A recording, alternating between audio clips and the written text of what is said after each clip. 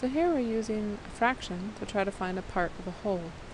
And what we need to do is figure out what the whole is that we're trying to break up and just times it by the fraction we want.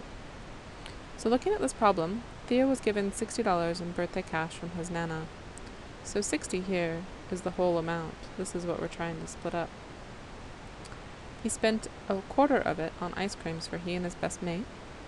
So, I guess the question would be how much were the ice creams?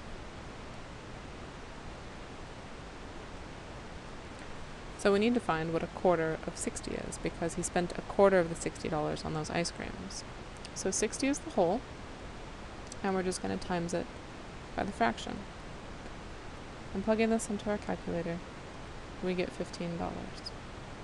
So he spent $15 on ice creams. And we can go further with this problem, so taking it to a more advanced word problem, continuing on, he spent four ninths of the remainder on a movie ticket.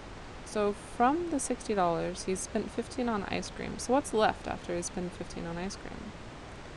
60 minus 15 gives us $45, which he's got left after ice cream.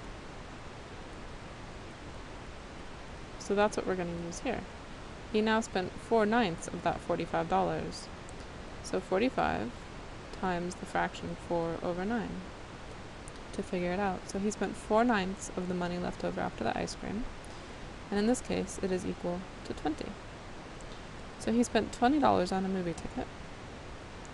And after that, he decided to save half of what was left and keep the rest for the next weekend. How much did he save? So first off, $20 on the movie.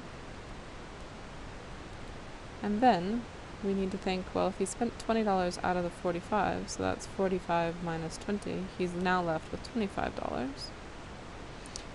And of that $25, he's going to save half of that. And well, a fraction for half is 1 half. So what's half of 25? That's 25 times a half, which gives us 12.5.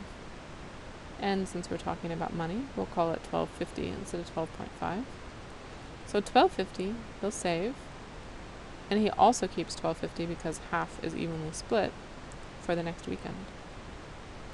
So again, when you're trying to find a fraction of something, you just take the whole thing and times it by the fraction you're looking for.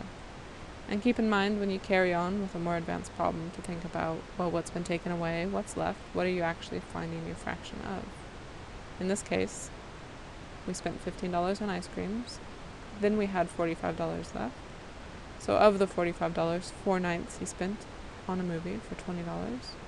So after $20, he's down to $25.